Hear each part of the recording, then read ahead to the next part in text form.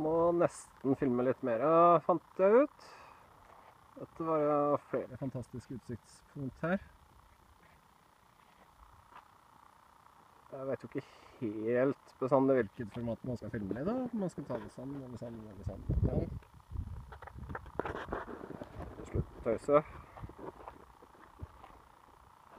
Det er i hvert fall helt sikkert at den skulle hatt mer i vinkel her. Så er man jo helt kanten av stupet hvis man bare vinkler litt ned der.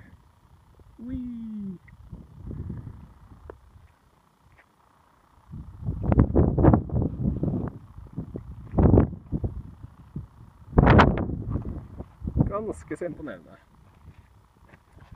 Det som er mest spenstig, det er jo de som skal på tur her, da. Da er det her start av hiking trail. Så er det ikke lov til å gå ned dit hvis den ikke går en offisiell tur. Og nå tør jeg ikke gå helt ut på kanten her, men der er i hvert fall starten på turen ned. Det litt sånn løs kjetting å holde seg fast i. De overlater vi til er litt mer spenningssøkende.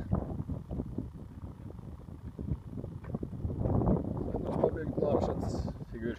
Eller figur.